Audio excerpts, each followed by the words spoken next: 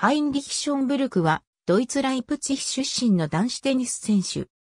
1912年のストックホルム五輪で、ドロテア・ケーリングと組んで混合ダブルスの金メダルを獲得した選手である。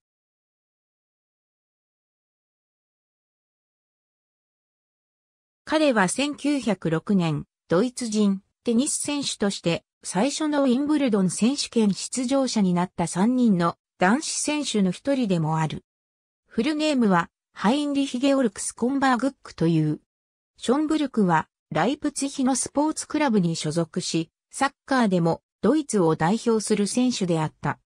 1906年、ドイツは初めてウィンブルドン選手権に3人の男子選手を送り込み、ハインリヒ・ションブルク、RF カルベラー、エルクーレンカンプの3名がオールイングランドクラブに遠征した。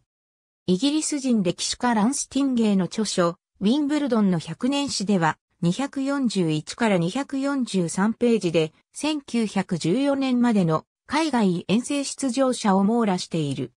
カルベラーとクーレンカンプは初戦を棄権したが、ションブルクがフランク・ライスリーとの3回戦まで進出した。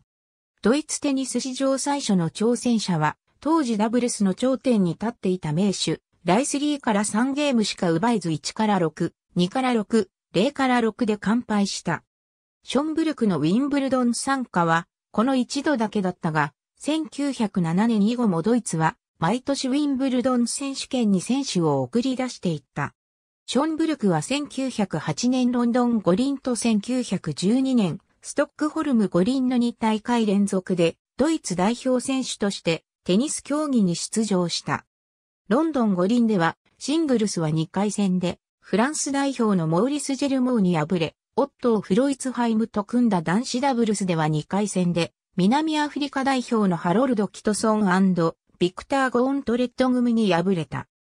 4年後のストックホルム五輪では、男子シングルスは、キトソンとの4回戦まで進出し、オットー・フォン・ミュラーと組んだ男子ダブルスは2回戦で止まったが、ドロテア・ケーリングと組んだ混合ダブルスで金メダルを獲得した。ションブルクとケーリングは決勝で地元スウェーデン人選手のグンナー・セッターウォールジークリット・フィック組に6から4、6から0のストレート勝ちを収めた。この時、ションブルクは27歳であった。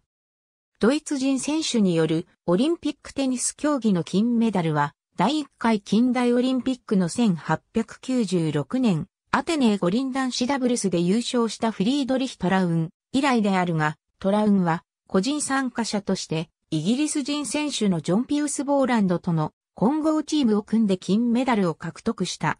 そのため、ドイツ代表選手同士の組み合わせによるテニスの金メダルは、ションブルクとケーリングが初めてになる。